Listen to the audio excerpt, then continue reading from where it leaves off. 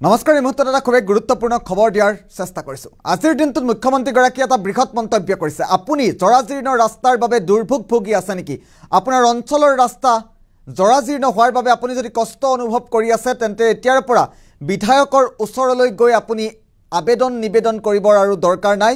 এতিয়াৰ পৰা এটা বিশেষ পৰ্টেল মুকলি কৰা হৈছে। আপোনাৰ পথৰ আপোনাৰ ঘৰৰ ওচৰৰ পথৰ যদি দুৰৱস্থা হৈছে আপুনি এই পৰ্টেলটোত আপুনি উল্লেখ কৰক। আপুনি অতি শীঘ্ৰেই ঘৰৰ ওচৰৰ ৰাস্তাটো সোনকালে লাভ কৰিব। কি কৈছিল মুখ্যমন্ত্ৰীয়ে? জনোৱাৰ চেষ্টা কৰিছোঁ। গ্ৰামাঞ্চলৰ লোকৰ বাবে বৃহৎ ঘোষণা কৰিছে আজিৰ দিনটোত মুখ্যমন্ত্ৰীয়ে। উন্নয়নৰ বাবে এতিয়াৰ পৰা যাব নালাগে বিধায়কৰ কাষলৈ। বিষয়া কৰ্মচাৰীক দিব নালাগে আপুনি আবেদন। জৰাজীৰ্ণ পথৰ বাবে পোনে পোনে দিব পাৰিব অভিযোগ। পকী পথৰ সুবিধা নাথাকিলেও আপুনি দিব পাৰিব অভিযোগ। ৰাজ্য চৰকাৰৰ তৰফৰ পৰা মুকলি কৰা হৈছে এটা বিশেষ পৰ্টেল। পৰ্টেলত গৈ পোনে পোনে আপুনি কৰিব পাৰিব আবেদন। আবেদনৰ পাছতে তাৎক্ষণিক ব্যৱস্থা ল'ব ৰাজ্য চৰকাৰে। নিজৰ গাঁও পঞ্চায়তৰ নাম উল্লেখ কৰিব পাৰিব আবেদনত। আৰু চুবুৰীত যদি এহেজাৰ লোক আছে আপোনাৰ চুবুৰীত যদি এহেজাৰ লোকে বাস কৰে তেন্তে পকী পথ পোৱাটো আপুনি নিশ্চিত। আপোনাৰ ঘৰৰ কাষৰ ৰাস্তাটোৰ বাবেই যদি আপুনি দুৰ্ভোগ ভুগি আছে দীৰ্ঘদিনৰ পৰা তেন্তে এতিয়াৰ পৰা আৰু চিন্তাৰ কাৰণ নাই।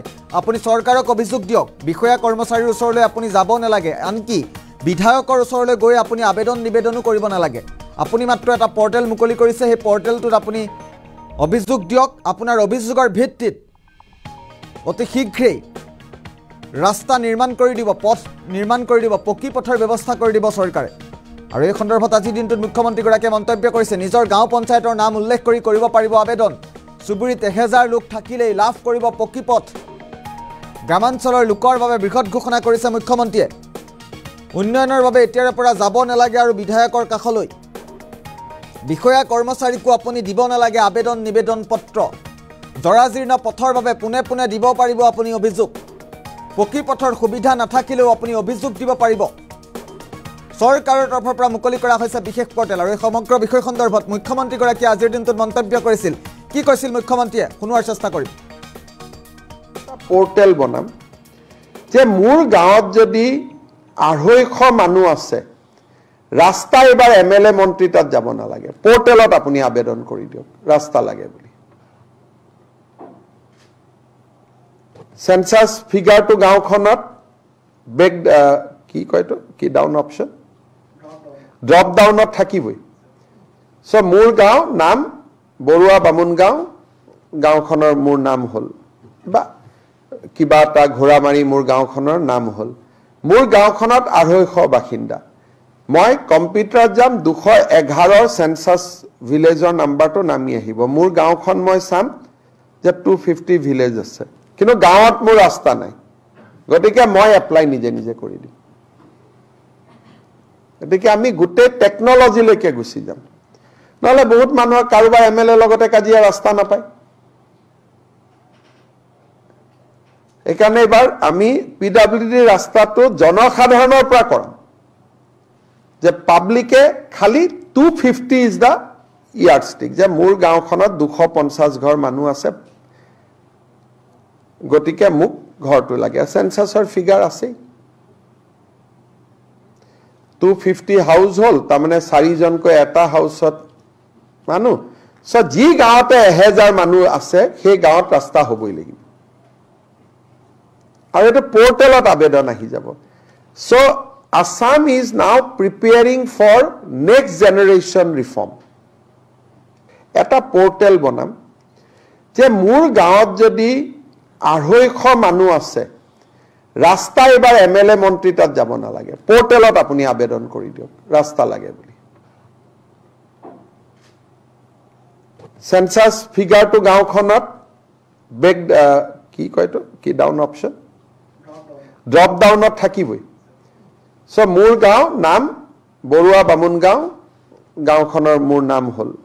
বা কিবা এটা ঘোঁৰা মাৰি মোৰ গাঁওখনৰ নাম হ'ল। মোৰ গাঁওখনত আঢ়ৈশ বাসিন্দা। মই কম্পিউটাৰত যাম দুশ এঘাৰৰ চেঞ্চাছ ভিলেজৰ নাম্বাৰটো নামি আহিব। মোৰ গাঁওখন মই চাম যে টু ফিফটি ভিলেজ আছে। কিন্তু গাঁৱত মোৰ ৰাস্তা নাই। গতিকে মই এপ্লাই নিজে নিজে কৰি দিম। গতিকে আমি গোটেই টেকনলজিলৈকে গুচি যাম। নহ'লে বহুত মানুহৰ কাৰোবাৰ এম এল এৰ লগতে কাজিয়া ৰাস্তা নাপায়। সেইকাৰণে এইবাৰ আমি পি ডাব্লিউ ডি ৰাস্তাটো জনসাধাৰণৰ পৰা কৰাম যে পাব্লিকে খালি two fifty is the yardstick যে মোৰ গাঁওখনত দুশ পঞ্চাছ ঘৰ মানুহ আছে। গতিকে মোক ঘৰটো লাগে। চেঞ্চাছৰ ফিগাৰ আছেই।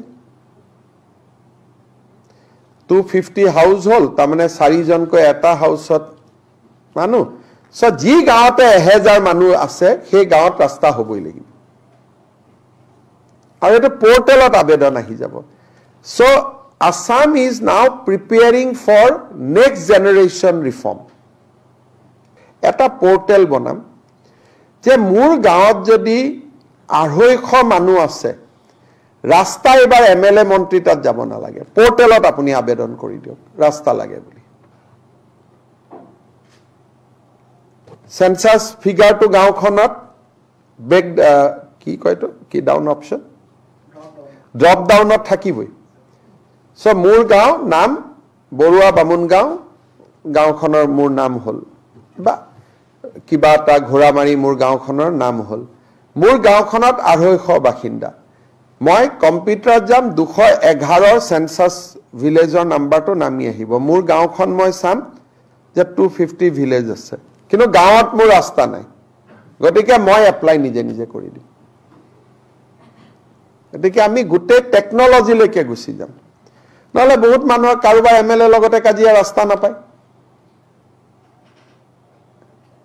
সেইকাৰণে এইবাৰ আমি পি ডাব্লিউ ডি ৰাস্তাটো জনসাধাৰণৰ পৰা কৰাম যে পাব্লিকে খালি two fifty is the yardstick যে মোৰ গাঁওখনত দুশ পঞ্চাছ ঘৰ মানুহ আছে। গতিকে মোক ঘৰটো লাগে। চেঞ্চাছৰ ফিগাৰ আছেই। টু ফিফটি হাউচ হ'ল। তাৰমানে চাৰিজনকৈ এটা হাউচত মানুহ। চ' যি গাঁৱতে এহেজাৰ মানুহ আছে সেই গাঁৱত ৰাস্তা হ'বই লাগিব। আৰু এইটো পৰ্টেলত আবেদন আহি যাব। So' Assam is now preparing for next generation reform. এটা পৰ্টেল বনাম।